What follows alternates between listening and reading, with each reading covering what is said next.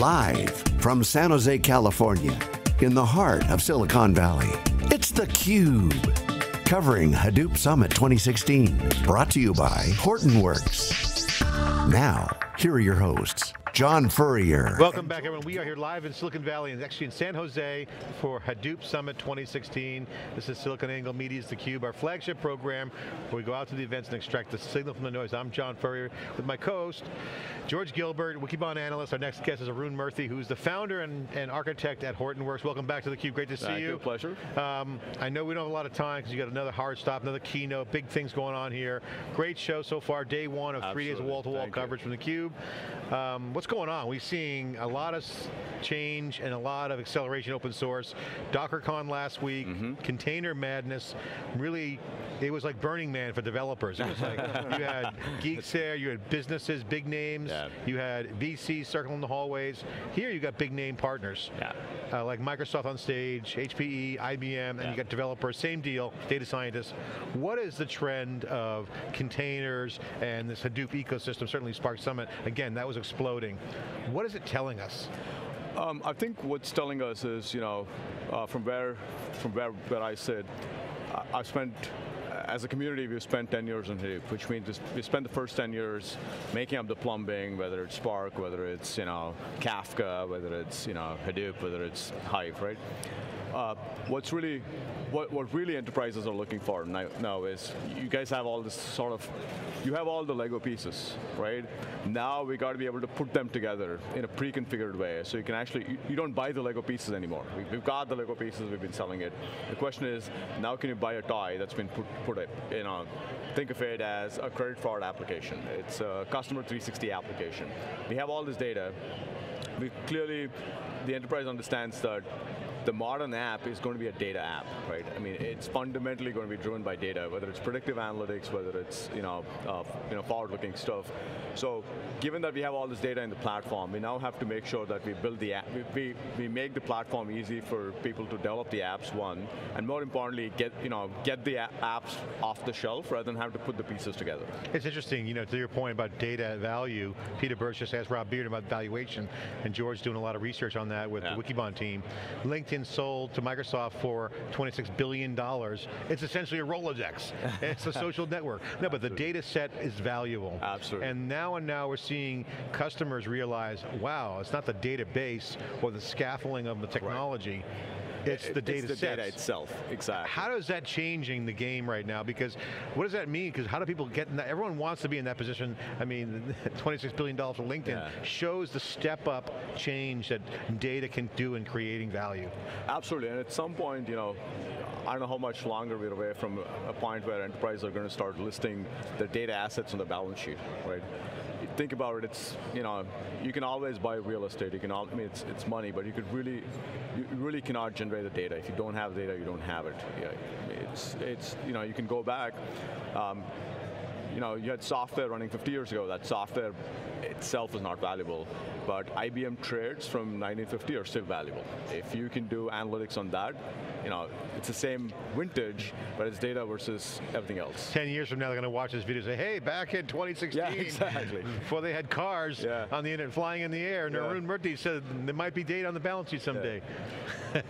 So Arun, let's let's continue that talk about applications. Yeah. Um, For apps normally to um, emerge out of a, out of an ecosystem, there's a consistent platform. Right. But the ecosystem, the Apache Hadoop ecosystem is growing so fast. Um, how do you sort of prescribe subsets of a platform as appropriate for different types of apps? And is there a forking with other distro vendors? I, I, the way I look at it is, is, you know, we could spend the next 10 years trying to standardize on everything, right? Or we could go solve business problems right now, which exist today, right? Uh, You guys saw what Progressive said on stage. Uh, they've been able to pass on $562 million in insurance savings to their customers using data. Now that gets people's attention, right? It means you and I are paying less for our car insurance, right? I I think what we want, what, what, what I see and what we see as a community is rather than trying to spend all this effort trying to you know standardize for the next 15 years, let's make it trivial for somebody to take an existing set of technologies. Today it's Spark, tomorrow it'll be Flink. It doesn't really matter, right? Take Spark, take Storm, take Hive, put it together as a, as a credit fraud application, which is what we demoed today morning, put it in the marketplace and let somebody download that application and it's not going to be perfect. It's only going to be 85%, right? Allow people to modify the last 15%, but go run, right? So everybody can take the 85%, modify to their use case, and then go run. And as long as you have enough people putting up these in a marketplace where can download and run, rather than today I have to put up, pull up Kafka, I got to pull up Storm, I got to pull up Spark, I got to stand them up, wire them together. That's painful. I mean, we cannot train people fast enough, especially to your point, which is these technologies are moving. I'd rather have customers like Progressive download an app, uh, from a marketplace, run it, and then modify the last for the last 15%. So this is a different go-to-market model. I mean, it dictates a different go-to-market model from what we saw, you know, traditionally in packaged apps. Um, well, first on PCs, and then even the bigger ones where um, the the change was to the business process, make it map, you know, to the application, or right. or the other way around. Absolutely. That was painful, but so it wasn't all that repeatable. So I think to our point, what people have realized is it's not about the application, it's about the data, right?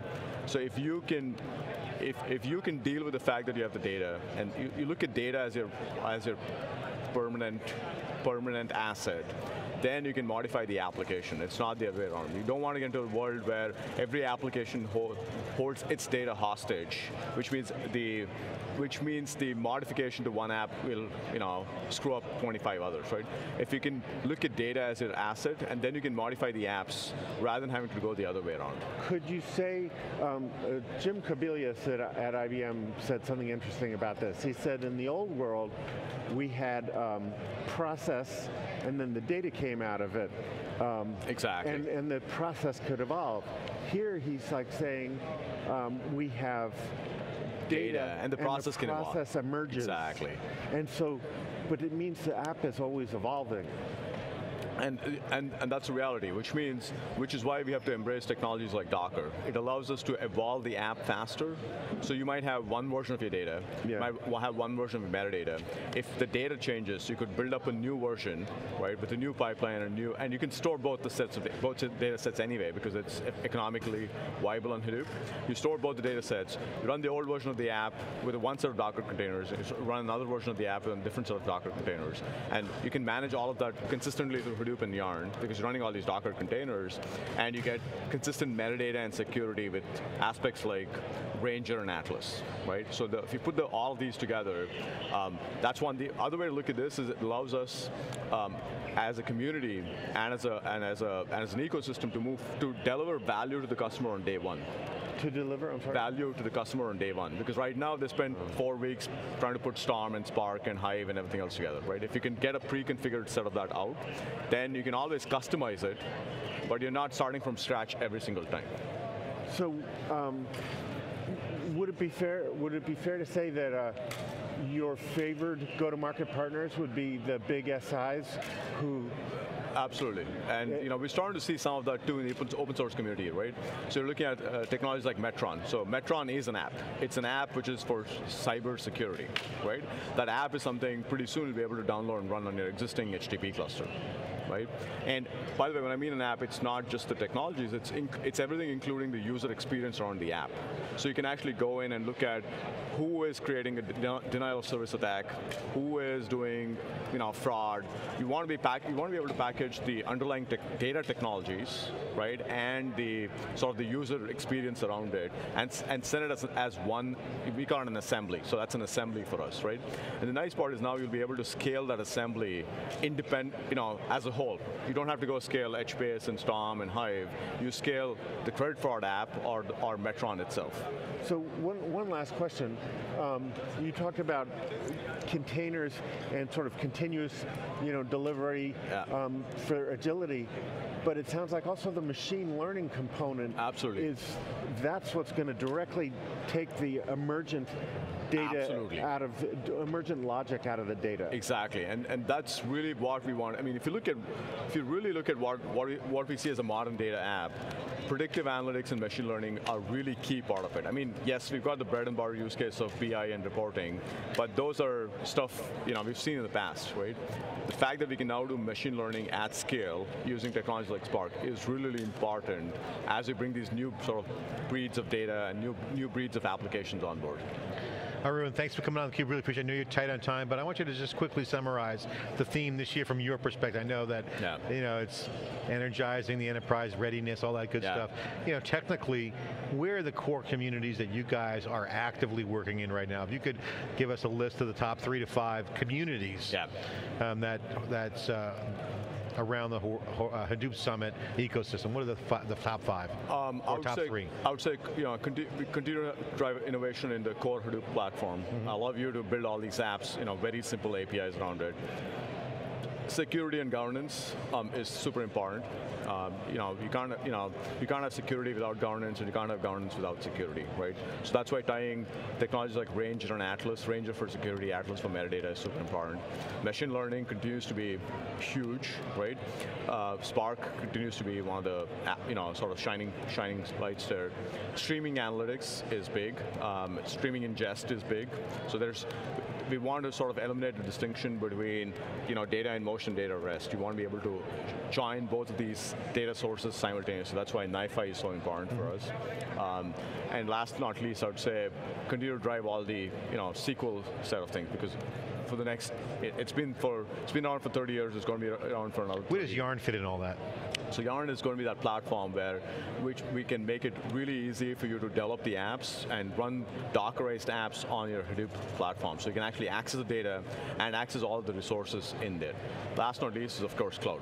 We spend a lot of attention and time on the cloud. Um, you know, Cloud. another big one. Yeah. So making all data everywhere, IoT certainly going to be around. Okay, great. Yeah. Arun Murthy, founder and architect at Hortonworks here at Hadoop Summit. Again, congratulations, 10 years of Hadoop, uh, great celebration going on, big party tonight, big lot of things happening. Yeah. We'll see you around, have a cocktail later. It's theCUBE, Perfect. live here in San Jose in Silicon Valley, watching theCUBE.